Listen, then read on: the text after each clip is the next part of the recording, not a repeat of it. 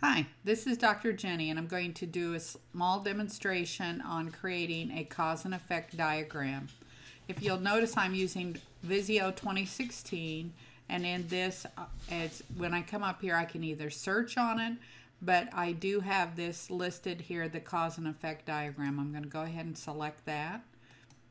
It'll ask me to create it. I will say yes.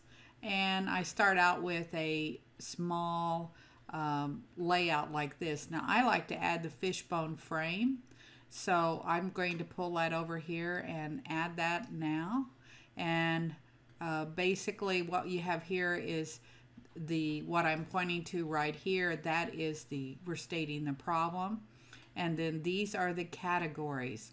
Now there are quite a few different suggestions about how you uh, categorize a uh, the categories.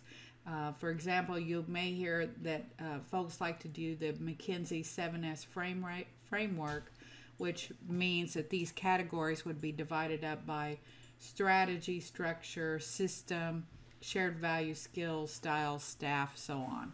Uh, some uh, like to use the four P's of marketing, which are product, place, price, and promotion. Uh, but the categories can be what you make of it.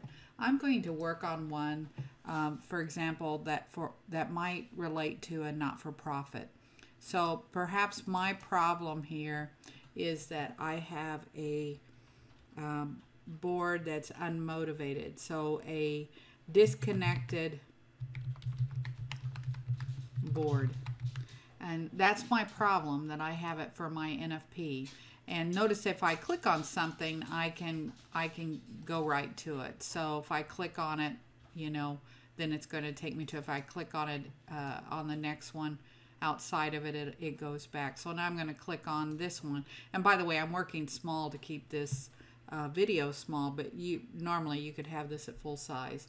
So probably one of the things that uh, I'm going to list here might be under my categories might be people here and then on another category I might have um, maybe the place which could be also be called the environment uh, maybe down here I have the process. Maybe that's part of the issue. And these are broad headings here.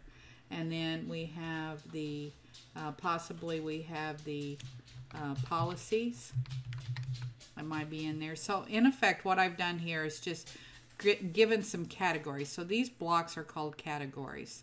And then what we have um, is that we can have what's called primary cause or uh, secondary causes. So let's say that if I have uh, primary cause here, then I can essentially, maybe for the place, I can say that um, located in, uh, perhaps under place, I might have located in a um, area where with no parking because that would definitely uh, keep your board members from participating in um, monthly board meetings if you they have no place to park or it's difficult to get to the where you're having your meetings or whatever. Uh, then we could have even a, a secondary um, cause here might be that um, you know that it's there's a cost uh, for parking. So that might just be some of the things that we have here. So I've got a primary cause. I can also put a secondary cause just by splitting this off here. But basically what I'm doing is putting it in by category. So um, hopefully all you see here is I'm just taking this and I'm dragging um, the pieces over there. So here's my secondary cause 2 um, and so on. So essentially I can um, split this out and add text box to actually indicate what those are. So um, you know, you can you can do this a lot of different ways, but this is a way for you to brainstorm.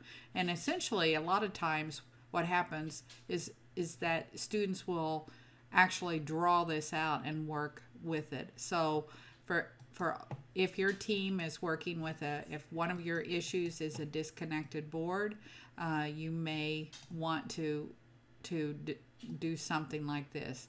Uh, and under people, you know, basically you're just taking these categories that you've set up and then you're showing some of the causes um, that that fall under those categories that actually relate back to this problem.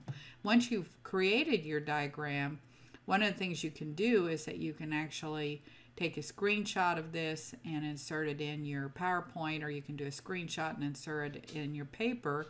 Uh, you can also save it as a PDF and print it out. So there's lots of ways to make this uh, look better. You can change the color so it matches the color style that you're using, uh, that sort of thing. So hopefully this will help you just get started in using Visio to create a Ishikawa uh, diagram or a cause and effect. So thanks a lot.